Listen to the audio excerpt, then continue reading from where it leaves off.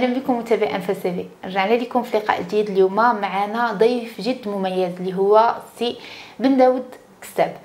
آه، مقدم ومعد برنامج خير البلاد اللي كيتعرض على القناة الثانية أهلا بك سي كساب. شكرا شيماء. بارك الله فيك. شكرا على الاستضافة. آه، ربي يخليك. آه، سي بن داود البرنامج ديالك خدا واحد الشعبية خدا واحد الشعبية كبيرة وحصد نسبه مشاهدة ضخمة. فشنو السبب والسر وراء النجاح ديال البرنامج ديالك؟ آه، تقريبا هذا الموسم آه، السادس اللي غندخلو إن شاء الله بالنسبة لبرنامج خير البلاد. آه، هي ما كاينش أسرار آه، بقدر ما كاين واحد المجهود كيتبذل يعني آليات ديال الاشتغال وديال العمل كتطور. كاين فريق وراء هذا البرنامج. يعني مرورا من آه، مديرية البرمجة اللي كنشكروا على رأسها المسؤول الأول ديالها بطبيعة الحال. كاين القناة الثانية مديرها العام وكاين مديرية الإنتاج بطبيعة الحال وكاين يعني يعني مجموعة من المتدخلين اللي كيساهموا يعني كل واحد بالإيد ديالو في إخراج واحد الحلة اللي يمكن تكون مقبولة بالنسبة للمشاهد وكتغطي بشكل كبير يعني آه، الأهمية ديال الإعلام الفلاحي. وي. وبالنسبه لك اسي بن داود طيلة هاد الست سنوات وهاد الست مواسم كيفاش تقيم هاد هاد المدة هادي وهاد الفترة اللي قضيتيها في البرنامج هو بطبيعة الحال كانت الولادة في أو المخاض في 2019 من بعد يعني يعني عام بعد عام حتى إحنا دابا تقريبا في الموسم السادس إحنا في سنة 2022 وعلى وشك يعني استقبال 2023 آه، العمل بطبيعة الحال كان متواصل وكنحاول بإمكان نطوروا نفوسنا من خلال طريقة العمل ديالنا آليات التصوير ثم المواضيع اللي كتحل كنحاولوا نشتغلوا عليها اللي كتكون آه، يعني نسبيا فيها الحضور الجغرافي على على على مدار بطبيعه الحال المجال الترابي للمملكه المغربية شمالا جنوبا شرقا غربا. برا وبحرا بطبيعة الحال. يعني كنحاولوا نخلقوا واحد النوع من التوازن لا على مستوى الجغرافيا أو على مستوى المواضيع اللي كيمكن نطرحوها. وي. وبالنسبة للبرنامج ديالك سلطتي فيه الضوء على مجموعة من الأمور اللي كتخص الفلاحة والفلاح. بدا- بداية من آه، الأساليب ديال الفلاحة ال- ال- الأنواع ديالها آه، التعاونيات الفلاحية وركزتي على التعاونيات الفلاحية وخاصة منها النسبية. آه، ولكن آه، بالنسبة لك أنت آه، شنو الفكرة اللي خرجتي بها من هاد المواسم اللي فاتوا كاملين؟ هو بطبيعة الحال كان عندي الهدف الأساسي هو تاسيس الاعلام الفلاحي كنعرفوا أن سنوات الخمسينيات وفجر الاستقلال الستينيات السبعينيات الثمانينيات التسعينيات كانت وصلات يعني نقدروا نقولوا يعني آه، قصيرة في الزمن ومحدودة حتى على مستوى المواسم. كانت آه، يعني وصلات إشهارية إعلانية اللي تتعنى بالإرشاد الفلاحي إلا بغينا نقولوا كانت وجوه اللي قليلة ومعروف يعني آه، معروفة بطبيعة الحال وما ما كانش واحد النوع نقولوا التأسيس لهذاك الإعلام الفلاحي. كانت البداية من من الإذاعات والقناة التالية الحمد لله كانت سباقة في المجال أنها أسست من خلال برنامج خير البلاد اللي عنده هذه الريادة هذه الاعلام الفلاحي إعلام اللي كيوصل للفلاح إعلام اللي كيحاول يناقش مشاكل الفلاح والإعلام اللي كيحاول يبرز الخيرات اللي كيتمتع بها المملكة الإعلام اللي كيحاول أنه يكون صلة وصل بطبيعه الحال وقاطرة يعني أنه يحاول ينمي هذا القطاع الفلاحي آه، سواء على مستوى يعني ال- ال- المبادرات الفردية الجماعية التعاونيات وخاصة مقاربة النوع اللي ساهم وكنظن أنه نجح في البرنامج أنه يأسس لها الفعل النسائي اللي اشتغل ونجح ووصل بطبيعة الحال إلى مقاولات وكان الاحتراف وهي اللغة السائدة بطبيعة الحال اللي اللي من خلالها آه، عبر الحدود إلى يعني خارج بطبيعه الحال المملكة. فانت تجولتي يعني كافة بقاع المغرب. درتيه من الشمال ديالو كيف ما قلتي إلى الجنوب ديالو. فشنو آه، الرأي ديالك في داكشي اللي شفتيه خلال الجولة ديالك؟ بطبيعة الحال هذه حقيقة لا يمكن أن ينكرها إلا جاحد. المغرب يتغير المغرب يتطور. ممكن تقريبا 20 سنة بطبيعة الحال تأسست واحد. يعني واحد كان واحد البنية. يعني كبيرة كاينة واحد الأرضية. يعني في مجموعة من المجالات بطبيعة الحال وحنا حنا كنطمعوا يعني الإنسان ب- بطبيعته بطبيعة الحال يطمح ويطمع. يعني كانت بنيات آه، كاين تطور على المستوى ال- الفلاحي. كاين آه، رؤ- رؤى لتغيرات بطبيعة الحال. كيفاش ممكن نستثمر المجال الفلاحي؟ كيفاش ممكن نشتغل مع قطاعات أخرى بشكل متوازي من أجل التنمية؟ هذا الشيء اللي ما كناش كنعرفوه قبل كيفاش ممكن السياحة والفلاحة تمشي بشكل آه، متوازي. مثلا أنا فلاح وفي نفس الوقت عندي عندي ضيعة اللي كنشتغل على تثمين ما هو سياحي تثمين ما هو تراثي بطبيعة الحال من خلال المتاحف من خلال الأشياء اللي كتميز بلادنا. بطبيعة الحال مثلا المجال ديال المياه والغابات اللي هو يعني السحر ديالو خاص ومميز وكيميزنا على باقي مناطق العالم. بطبيعة الحال اللي مازال كاين اشتغال فيه بطبيعة الحال كاينة مقاربة ديال كيفاش ممكن نشتغلوا على فعل تنموي اللي كتكون الساكنة هي آه، يعني البوصلة اللي بغينا نقولوا اللي يمكن نمشيو لها التنمية. كيفاش ممكن الفاعل بطبيعة الحال المؤسسات الإدارات كيفاش تشتغل في إطار مقاربات تشاركيه هذا الشيء الحمد لله حاولنا أن نبرزوه. وبطبيعة الحال كاين نجاح في هذا المجال. هذه زعما هذه هذه قناعة إعلامي مغربي يعني يعني حبه يزداد يعني لحظة بعد لحظة لهذا الوطن ولهذه المملكة. فهذا فخر بطبيعة الحال. كاع هادشي اللي كتسخر به البلاد ديالنا الفخر لينا مجموعين. آه، بالنسبة لبلادنا دابا بالحديث عن بلادنا فاحنا كنعيشوا واحد الموجة ديال جفاف للأسف. وماشي غير حنايا وإنما العالم ولكن حنا ندويو على البلاد ديالنا. فواش البرنامج ديالك آه غادي يتطرق لهذا المشكل في الموسم ديالو الجاي بطبيعة الحال سنوات الجفاف بطبيعة الحال هي مستمرة ماشي وليده هذا العام أو العام اللي قبل. يعني الجفاف أصبح وهذه بلغة العارفين والمختصين أنه أصبح بنيويا. ملي كنقولوا بنيوي اذا يجب التعايش معه أو آه، الاشتغال على مبادرات أو أساليب أو بدائل اللي هي كتحط الجانب ديال الجفاف راه ولا بنيوي ولا مهيكل.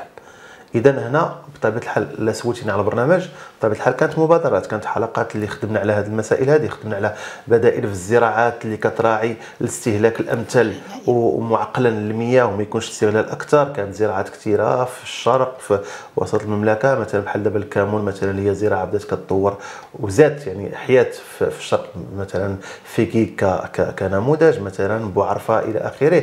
المنقوب عين الشعير يعني وكاين زراعات أخرى اللي مثلا مثلا في سوس كانت الحوامض بطبيعة الحال كاينة أزمة ولكن ربما يعني الفلاحة آه، اشتغلوا على بدائل وخدموا مثلا على على الخوخ الشهدية اللي ما كتستهلكش الماء بزاف ومديرة للداخل. كاين حويجات أخرين بالنسبة للخضروات يعني يعني كيف كنقولوا التأقلم مع يعني يعني مع مع الظروف. يعني كتملي ان أن الفلاح أو السياسة القطاعية لوزارة الفلاحة حتى هي بطبيعة الحال كتمشي في هذا الجانب. هذا ديال انها تقلب على مقاربات. بالنسبة لندره المياه بطبيعة الحال كاين تصورات ديال البرنامج البعض منا اشتغلنا عليه والبعض بطبيعة الحال ماشي مازال يعني كاين أفكار آه، يعني قريبا غادي تطرح بطبيعة الحال. بطبيعة الحال بالتنسيق مع الجهات المعنية مع الإدارة بطبيعة الحال القناة الثانية مع المؤسسات مع وزارة التجهيز والماء مع وزارة الفلاحة اللي هي شريك أساسي بالنسبة لي أنا كبرنامج اللي كنلقى منهم السند والدعم والمواكبة. آه، يعني آه، كاين كاينة مشاريع في هذا الجانب هذا وخاص غير كثير من التحسيس في هذا الجانب هذا والتوعية ومثل هذه البرامج يعني كتقوم بهذا الدور هذه كتحاول إنها تقوم بهذا الدور هذا. وبالنسبة للموسم آه، الجاي ديالك شنو هما الجديد ديالك؟ يعني شنو الجديد ديال هذا الموسم؟ خير البلاد بطبيعة الحال في موسمه الجديد اللي غادي يكون بطبيعة الحال الأسبوع الثاني من شهر أكتوبر. كاين كاين مجموعة من الرحلات. والتفكير يعني اشتغلنا هذه سنه على أننا نحاول ما أمكن نكونوا أداة أو وسيلة لتقريب المشاهد من الخيرات ديال البلاد ومن المبادرات اللي كتسعى أنها وما يكونش داك الاشتغال بشكل قطاعي كل قطاع كيشتغل راسو يعني السياحة عندها دور ديالها الفلاحة عندها الدور ديالها. الموروث الثقافي والثقافة بشكل عام إلا اشتغلوا هذا الثلاثي هذا بطبيعة الحال. بلا شك أننا غادي نوصلوا ونبلغوا التنميه والمشاريع ديال البرامج أو البرامج اللي اللي اللي نجزناها وصورناها واللي جاهزة للبث بطبيعة الحال مثلا آه، صفرو. صفرو يعني مدينة آه، يعني قديمة. مدينة ديال التراث مدينة ديال التنوع الثقافي مدينة ديال المكون الإسلامي العربي الأمازيغي اليهودي. حاولت في حلقه من الحلقات اللي غادي تكون في الشهر الجاي إن شاء الله. هو كيفاش هذا المكون الثقافي يساهم في بلورة واحد الفعل تنموي؟ كيف؟ مثلا كاينة السياحة القروية الجبلية معروفة باسفرو لأن كنعرفوا أن بعض المدن اللي كتكون قريبة من المدن الكبرى كيكون واحد النوع من ماشي حيف ولكن كيكون واحد النوع من تسليط الضوء على المدن الكبرى أكثر من صفرو. والحال أن صفرو يعني واحد الكنز كبير اللي وجب يعني الجهات المعنية هذا نداء ديالي كمواطن مغربي وكإعلامي وشفت بعينيا صفروا يعني كاينة مبادرات فردية كاين كاين تأسيس لهذه الأمور هذه كيفاش في حلقة من الحلقات اشتغلت على السياحة الفلاحه وهذه المكونات الثقافية وهذا آه، يعني مثلا راه ممكن حنا بالطبخ ديالنا المغربي الأصيل نبيعوا به. راه هذا الشيء راه ما كاينش بلدان أخرى. يعني راه راه حتى ذاك يعني العادات التقاليد لا يجب أن نهملها لانها هي عنصر من عناصر التنمية المحلية عنصر من عناصر إبراز يعني ما يعني آه، تسخر به المملكة ديالنا. كاين كذلك بطبيعة الحال إلى جانب هذا الأمر هذا كاين مشاريع كبرى اللي عكفت على وزارة الفلاحة. مثلا ما يسمى بالأقطاب الفلاحية. كانت البداية اشتغلنا قبل مع القطب الفلاحي. في بركان. هذه الحلقة من الحلقات اللي غادا تكون إن شاء الله حاولنا اشتغلنا على القطب الفلاحي ديال مكناس أو الكاليبول. يعني قطب ديال الجودة اللي معروف ومشهود لي على المستوى الدولي آه، كقطب يعني يعنى بتطوير المجال الفلاحي الصناعات الغذائية إلى آخره. هذا الشيء اللي خص المشاهد المغربي آه، المواطن المغربي إذا صح التعبير يوقف عليه ويشوفه ويعرف فين وصلنا في هذا المجال. نحن ننتج أي نعم. كان آه، وصلنا لواحد الإنتاج معين في سلسله من سلاسل الإنتاج ولكن وصلنا كذلك لمحطه محطات التثمين ديال المنتوج. من خلال التعليب ديالو إلى آخره من خلال آه، يعني واحد النوع من آه، ترسيخ الثقافة ديال ديال نقولوا الاحترافيه لدى الفلاح المتوسط الكبير التعاونيات إلى آخره. هذه حلقة إن شاء الله غادي تكون مميزة وفيها كذلك زيارة لإحدى الضيعات الفلاحية في بركاء في أقول الحاجب اللي كان فيها بطبيعة الحال التعريف بالضيعات النموذجية نموذجيه بالتطور الفلاحي اللي كتعرفوا يعني يعني كيف ممكن الفلاح أو صاحب الضيعة أنه يتماشى مع المتغيرات يتماشى مع التكنولوجيا الحديثة اللي بطبيعة الحال أصبحت يعني يعني كيف كنقولوا ضروري منا لا مناص منها كذلك عكفنا على الجانب اللي خصنا نعرفوا حنا كمغاربة أن راه كاين بحث في هذا المجال كاين بحث زراعي كاين مؤسسات ديال ديال الدولة كتشتغل شي مثلا المعهد الوطني للبحث الزراعي المعروف اللي نغا راه كاين أنا كاين أنا أنا بعدا كنكتشف معاهم من خلال أنا المشاهد. يعني مثلا كاين ضيعات نموذجية في العنوصر في نواحي الحاجب اللي كتشتغل على على على البذور على الأشجار المثمرة وكاين نجاحات كبيرة في هذا الجانب. كذلك دخلت على دخلت على دخلت لتجارب أخرى. مثلا ما يسمى بالضيعة الرقمية. كنقولوا الضيعة الرقمية كنقولوا اساليب ديال ديال التدبير ديال التسيير المعقلن للضيعه الفلاحية واللي ما كتكونش مكلفة. كتكون مكلفة في في الشهور أو الأيام أو السنوات الأولى لكن الفلاح كيولي مثلا كيشتغل على الفلاحة ديالو والزراعه ديالو بطبيعة الحال من خلال واحد النظام معلوماتي معين كاين les applications ولاو مثلا ولاد البلاد هذه اللي خصني نسطر عليها بطبيعة أولاد البلاد اللي كيخدموا على هاد على هاد التطبيقات مثلا هو راه بعيد وكيعرف كيفاش يسير. وهذه فيها استغلال معقلن للمياه فيها آه، ضمان الجوده ديال المنتوج. مثلا الحب الملوك اللي معروفة بصفرو إلى آخره. وكانت زيارة كذلك الاقاليم اللي طولت عليك الأقاليم الجنوبية بالنسبة لجهة العيون الساقية الحمراء اللي كان لأن حاملة كثير من المفاجآت بطبيعة الحال. حاولنا نشتغلوا على المنتوج المحلي الصحراوي. من خلال واحد الجولة خداتنا من فم الواد العيون للسمارة. والمشاهد غادي يشوف الطريق بطبيعه الحال كاينة الطريق شوية ولكن العناء ديال الطريق لا ما لنا حتى شي حاجة في حالتي في حالتي إلا نجحنا وصلنا بطبيعة الحال النجاحات ديال الفعل التعاوني. كنا اشتغلنا على مثلا المنتوج المحلي اللي هو قاطره من يعني التنمية المحلية. مثلا كنعرفوا الابل المعروفة بها المنطقة. كاين الماعز كذلك. شفنا تجارب ديال مجموعة من من الفلاحة اللي بغى يتمنوا هذا المنتوج مثلا ديال الماعز ويخدموا عليه في المستقبل. كاين اللمسه ديال المرأة الصحراوية اللي كنحييها من هذا المنبر ديالكم. هو كيفاش كتربط الماضي بالحاضر من خلال التكاوين اللي كتخدع عليها ومن خلال الاستماع والإنصات. يعني مثلا المرأة الصحراوية اسمح لي هو مثلا الأعشاب الطبية والصحراوية اللي معروفة بها الصحراء معروف بها الجنوب المغربي. كيفاش كتمنوا وكتخدموا بشكل يعني بالتعليب ديالو بالمعايير الصحية المعتمدة من خلال المكتب الوطني للسلامة الصحية وكتروجوا ومشيت كذلك للسمارة باش نقول لك أودي كاين من التثمين لحوم ديال الإبل من خلال الودك كنقولوا الشحمة كنقولوا تيشطار في أمور اللي بطبيعة الحال وهذه كلها عناصر من العناصر اللي كتجعلنا حنا كمغاربة نفخروا بما هو من لأن التنمية راه ما يمكنش تنطلق إلا بما هو محلي. وكذلك الرفع ديال الصناعة التقليدية اللي معروفة بها العيون بطبيعة الحال شفنا المجمع ديال الصناعة التقليدية شفنا الصانع التقليدي والدور ديالو بطبيعة الحال في إبراز هذا الموروث هذا. وعرجنا كذلك على آه، مشاريع فلاحية كبرى. اللي غادا اللي بدات بطبيعة الحال طلبات العروض فيها.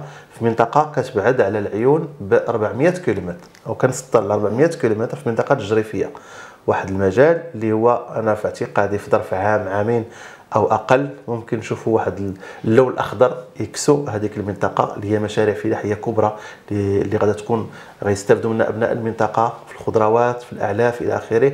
شفنا كذلك تعاونيه الساقية الحمراء. طولت عليك بزاف ولكن يعني هذه مواضيع هي مهمة. لاحظت اللي لاحظت هو أنكم اهتميتوا بالجهة الجنوبية في هذه الحلقات ديال الموسم ديالكم بطبيعة الحال لا هو المملكة المغربية كلها كتدور اللي بغينا نقولوا في, في, في, في, في, في الشبكة ديال أو في البرامج أو في الحلقات اللي كنديروها في خير البلاد. هذا أكتوبر ونوفمبر بطبيعة الحال غيكون تزامنا مع عيدين عزيزين علينا بطبيعة الحال. كاين عيد المسيرة الخضراء وكاين بطبيعة الحال عيد الاستقلال غيكون في شهر نوفمبر. هادو برامج اللي غادي يجيو بطبيعة الحال تزامنا مع الاحتفالات ديال النهار بطبيعة الحال. وكذلك البحر باش ما ننساوش وركزت على العنصر النسائي والدور ديالو خاصه المرأة الصحراوية اللي دخلات المجال ديال البحر وخاصة من القناة ديال تسويق الأسماك. رافقنا آه، وحدة من الأخوات اللي كتشتغل تماك اللي كنحييها العالية أحمد مغرب الله وحدة من الوجوه النسائية اللي كت تشتغل على تمكين النساء يعني الصحراويات ونساء المنطقة من أجل يعني يكون عندهم دخل يعني معقول بطبيعة الحال. وفي تثمين المنتوج البحري. كان كذلك جوله ديالنا للمكتب الوطني للسلامة الصحية والدور ديالو في متابعته ومواكبته للمنتوج البحري من المركب حتى المستهلك الأخير بطبيعة الحال. يعني حلقات يعني يعني مجموعة آه ديال المفاجآت اللي غيشوفها المشاهد المغربي إن شاء الله, إن شاء الله في باقي الحلقات ديال خير البلاد. فإحنا نتمناو لك التوفيق أكثر وأكثر. وإن شاء الله حنا غنكونوا ضروري غنحرصوا على مواكبة آه، الجديد ديال البرنامج ديالك. فبهذا نكون وصلنا مشاهدينا لنهاية لقائنا اليوم على أمل أننا نتلاقاوكم إن شاء الله في لقاء جديد مع موضوع جديد وضيف جديد. السلام عليكم.